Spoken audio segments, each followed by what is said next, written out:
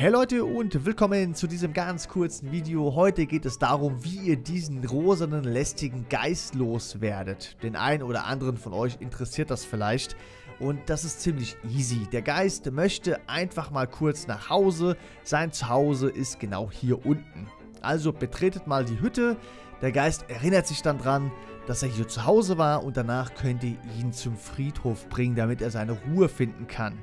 Hier ist sein Grabstein sozusagen. Also geht dort mal kurz hin und der Geist verabschiedet sich dann von euch. Ihr bekommt noch ein cooles Geschenk und zwar eine Feenflasche und danach könnt ihr weitermachen. Ihr könnt zum Beispiel ein paar Dungeons erledigen oder schaut euch mal mein nächstes Video an. Da geht es um das Labyrinth der Farbe. Das könnt ihr im Anschluss auch direkt machen. Also Leute, vielen Dank fürs Zuschauen.